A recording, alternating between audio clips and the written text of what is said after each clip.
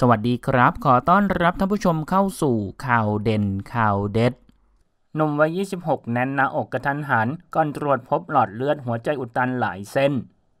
เดี๋ยวนี้โรคภัยไข้เจ็บอยู่ไกลแค่เอื้อมจริง ๆ เพราะใช่ว่าอาการป่วยที่หลายคนเข้าใจ ว่าจะเกิดขึ้นกับเฉพาะผู้สูงอายุ แต่ตอนนี้มันเริ่มเกิดขึ้นกับวัยรุ่นหนุ่มสาวแล้ว อย่างเคสของหนุ่มไต้หวันวัย 26 ปีคนนี้ โดยสื่อต่างประเทศรายงานว่ามีเคสคนไข้ชายรายหนึ่งวัย 26 ปี ได้เข้ารับการรักษาด้วยอาการแน่นหน้าอก แต่เขาก็ยังคิดว่าตัวเองไม่เป็นอะไรมาก ขณะที่แพทย์เห็นท่าไม่ดีจึงรีบนำเข้าห้องฉุกเฉิน ก่อนจะมีผลวินิจฉัยทำแพทย์ตกใจ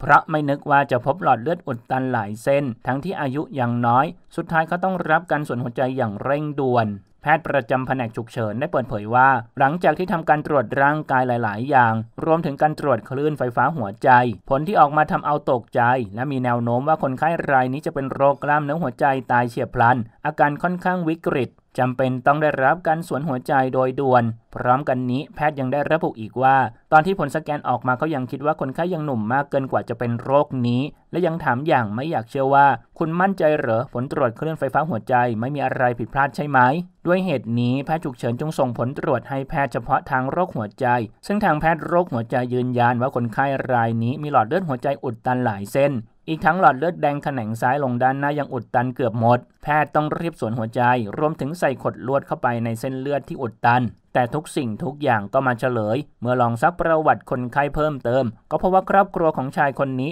เปิดร้านขายไก่ทอดเกลือ คนไข้จึงมาช่วยดูแลงานที่ร้านตั้งแต่เด็ก หลังเลิกเรียนก็ต้องกินไก่ทอดบ่อยๆ เพราะพ่อแม่ยุ่งมากจนไม่มีเวลาทำอาหารอื่นๆ ให้ทาน แต่ส่วนปัจจัยเสี่ยงอื่นๆ คนไข้มีภาวะไขมันในเลือดสูง ความดันโลหิตสูง สูบบุหรี่ รวมถึงพ่อเคยมีประวัติเป็นโรคกล้ามเนื้อหัวใจตายตอนอายุ 40 กว่าปี สิ่งที่พบนั้นล้วนแล้วแต่เป็นปัจจัยเสี่ยงของโรคนี้ทั้งสิ้น อย่างไรก็ตามทางด้านแพทย์โรคหัวใจเผยว่า คนไข้ที่เผชิญโรคนี้ ควรได้รับการสวนหลอดเลือดหัวใจภายใน 90 นาที หลังส่งถึงโรงพยาบาล เพื่อลดระยะเวลาที่หัวใจขาดเลือด ถ้าหากคนไข้รายนี้เข้ารับการรักษาช้ากว่านี้อาจจะสายเกินไป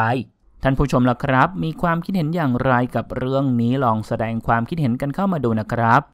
ขอขอบคุณข้อมูลจากไทยนิวส์ออนไลน์ ขอบคุณครับ